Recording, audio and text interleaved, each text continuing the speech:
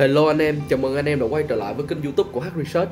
Thì tiếp tục về những dự án tiềm năng trong ngành NFT Thì hôm nay mình xin giới thiệu tới anh em một cái dự án mà mình đánh giá là có một cái độ mở rộng cực kỳ cao trong tương lai. Thì đó chính là dự án Paraspace. Và cái độ mở rộng cao và tiềm năng của Paraspace như thế nào trong tương lai Thì mời anh em đi vào video ngày hôm nay.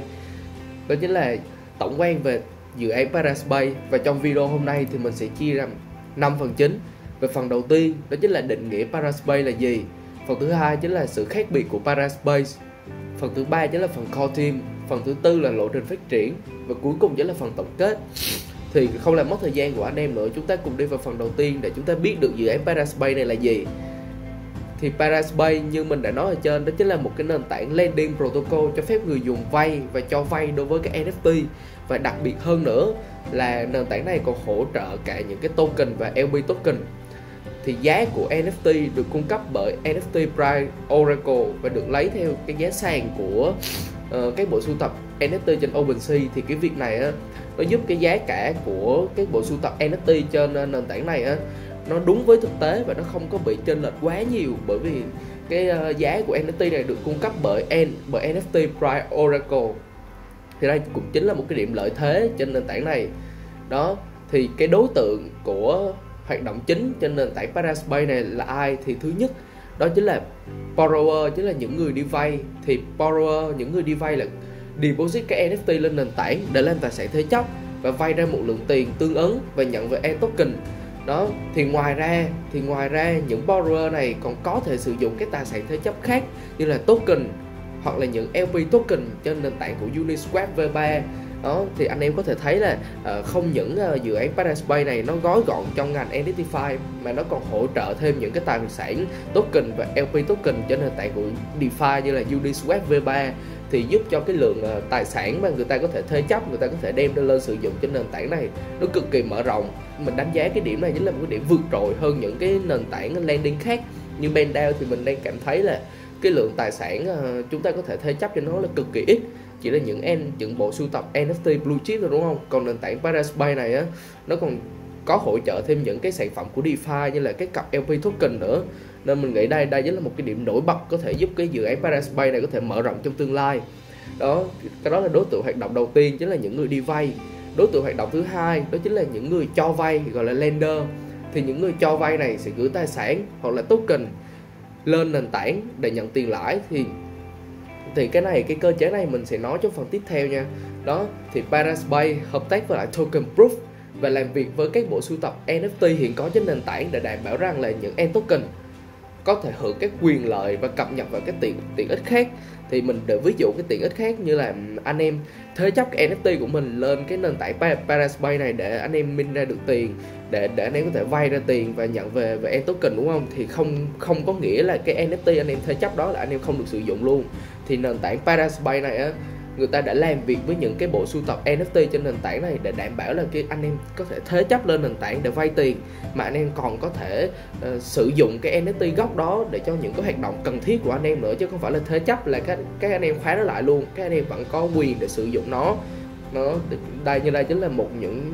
như đây chính là một trong những cái điểm nổi bật của Paraspace giúp cho người dùng có thêm nhiều use case hơn có thêm nhiều cái ờ, quyền lợi hơn trong cái việc mà uh, thế chấp tài sản của mình lên nền tảng này. Đó. Còn về vấn đề thanh lý thì sao? Thì về vấn đề thanh lý Paraspace sẽ đưa ra một chỉ số được gọi là chỉ số sức khỏe tài tài khoản. Thì cái hệ số thức sức khỏe tài tài khoản này sẽ được tính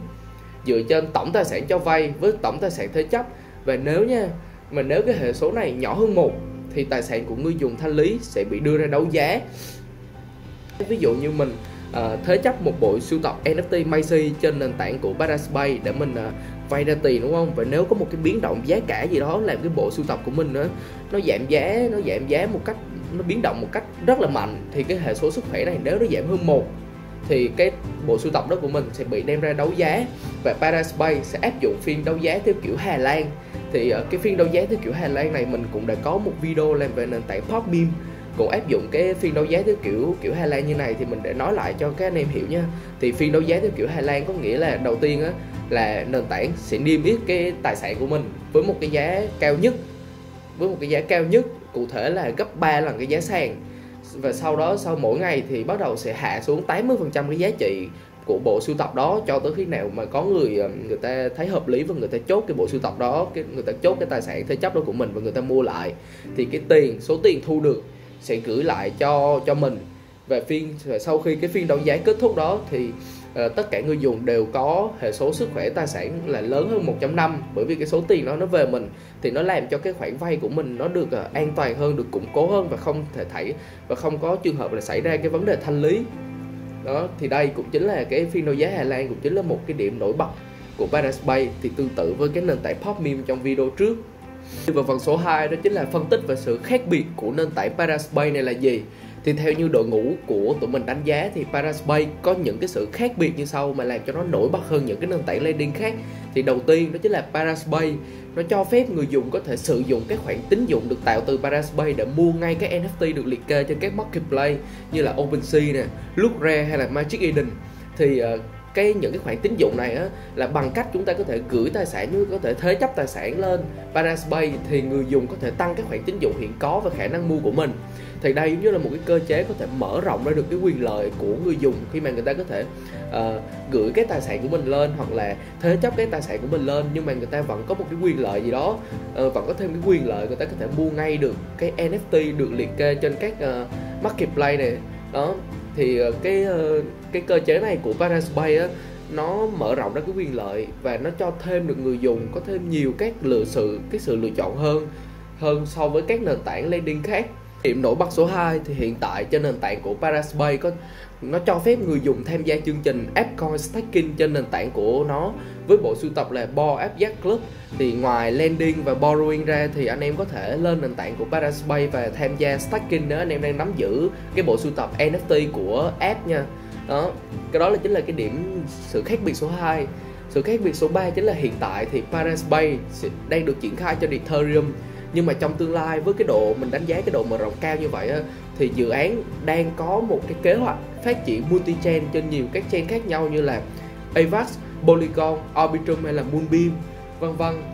Thì chúng ta cùng đi vào phần tiếp theo đó chính là phần ờ, core team. Thì phần core team xin mời anh em có thể tham khảo thêm cái cái bài viết về Paraspace trên website của H Research. Và link mình sẽ để ở dưới phần description. Thì theo như cá nhân mình nhận định á, thì về phần core team của dự án Paraspace này là những người có dày dặn kinh nghiệm trong thị trường crypto. Founder của dự án Paraspace này cũng chính là founder của Parallel Finance. Đây chính là một cái dự án khá là nổi tiếng trong thị trường và chúng ta cùng đi vào phần uh, lộ trình phát triển của Paraspace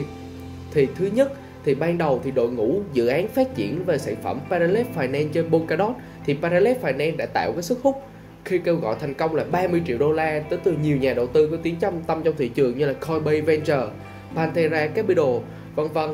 Thứ hai đó chính là vào cuối năm 2022 thì đội ngũ sẽ chuyển hướng phát triển sang multi-chain và lấn sang sang thị, thị trường NFT lending khi ra mắt Paraspace và trong tương lai thì đội ngũ sẽ hứa hẹn là sẽ tích hợp với nhau thêm uh, hứa hẹn là Paraspace và Parallel Finance sẽ được tích hợp với nhau để tạo ra một cái nền tảng landing với nhiều tính năng hơn cho người dùng. Cái đấy là lộ trình phát triển do Paraspace uh, ờ, đã public nha mọi người. Còn về tokenomics thì hiện tại vẫn chưa có thông tin gì thêm. Và nếu có thông tin gì thêm về tokenomics của dự án tụi mình sẽ cập nhật trên website của H Research nha. Đó thì uh, mình cũng uh, kết thúc được cái phần uh, lộ trình phát triển rồi mình có một cái vài điểm lưu ý cho anh em với dự án này thì mình sẽ chắc qua một số dữ liệu on chain trên Dun về dự án Paraspace này. Đó thì hiện tại như trên màn hình các anh em có thể thấy á, về total supply total supply hiện tại là Paraspace đang có 222 triệu đô la total supply. Còn cái lượng mà total borrow tức là cái lượng mà người dùng vay ra này là có 60 triệu đô la, thì anh em có thể thấy là người ta thế chấp tài sản những cái bộ sưu tập NFT hay là những cái token hoặc là LP token trong nền tảng, người ta có thể thế chấp vào là tương đương với giá trị là 220 triệu đô la xong người ta đã minh ra được số lượng tài sản là 60 triệu đô đây là một trong những cái con số khá ấn tượng so với cái nền, những cái nền tảng lending mà trong ngành NFT bây giờ đó. còn về daily new new user và total user tức là những cái người dùng mới hàng ngày về tổng cái lượng người dùng á, thì vẫn đang có một cái con số tăng trưởng khá là bền vững. Thì uh, những cái con số này nó cho anh em thấy được một cái điều là Paraspace đang thực sự build thực sự uh, có có tâm và có tâm nên là mình cảm giác được là mình đã thấy được cái lộ trình phát triển này cũng giống như là mình đã theo dõi Paraspace trong một khoảng thời gian khá là lâu rồi nên là mình uh, thấy được là cái sự mở rộng cái sự tiềm năng của Paraspace trong khoảng thời gian sắp tới thì đây chính là một cái vấn đề mà chúng ta không thể bàn cãi. Đó và cuối cùng mời anh em đi vào phần tổng kết để kết thúc video ngày hôm nay. Thì qua video ngày hôm nay thì anh em thấy được là Paraspace chính là một cái nền tảng landing protocol có nhiều cái sự kết hợp đa dạng bạn uh, ờ, có những cái tài sản thế chấp thì ngoài NFT ra thì còn các token và LP token những sản phẩm DeFi đúng không? Anh em thấy cái độ mở rộng của nó không chỉ nằm ở một vùng là NFT mà còn mở rộng ra DeFi. Thì cái việc mà áp dụng nhiều loại tài sản thế chấp hơn thì khiến nền tảng đón nhận nhiều rủi ro hơn nhưng cũng giúp được cái nền tảng Paraspace này thu hút nhiều người dùng người dùng hơn thì hy vọng qua video ngày hôm nay có thể giúp anh em có thêm nhiều góc nhìn hơn về dự án, cũng như là nếu anh em có thắc mắc hay là có cập nhật gì mới hơn thì anh em có thể tham gia trực tiếp vào Telegram hay là kênh Discord của H Research để tụi mình có thể bàn luận thêm về về vấn đề này. Thì cảm ơn anh em đã đón xem video ngày hôm nay. Thì mình mong anh em có thể cho đội ngũ của tụi mình một nút like, nút subscribe để tụi mình có thêm nhiều động lực ra thêm nhiều các cái video khác. Cảm ơn anh em đã đón xem và theo dõi. Hẹn gặp các anh em ở video sau.